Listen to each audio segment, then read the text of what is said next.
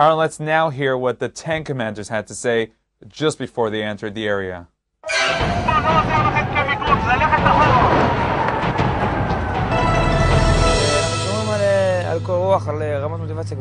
We're keeping our cool. Morale is high.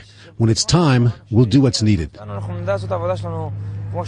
Tanks, artillery, ammunition, and lots of Israeli soldiers. That's how many once open areas adjacent to the Gaza security fence looked throughout the past few days as the IDF prepared its ground operation and signaled to Hamas what's next if they don't halt their rocket firing towards Israeli communities. And as the firing did not stop, the IDF moved ahead with plans and entered the Gaza Strip.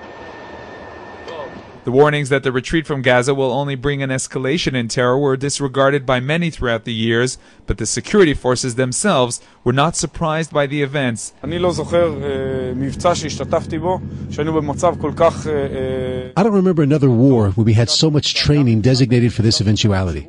Also, in terms of the motivation, we don't need to explain to the soldiers at this point or give them reasoning.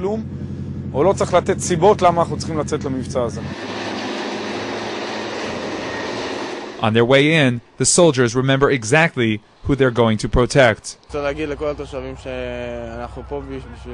want to tell all the residents that we are here for them and we are protecting them. We will win this war so they will have peace in their homes and so that we will finally have some peace in this country.